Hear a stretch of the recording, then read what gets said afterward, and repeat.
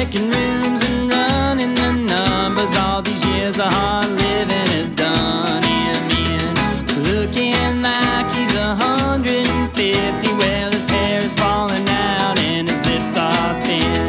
Well, I probably look like him when I'm fifty if I keep a living this hard-earned way.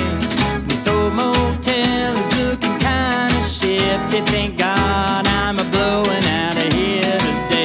said I'm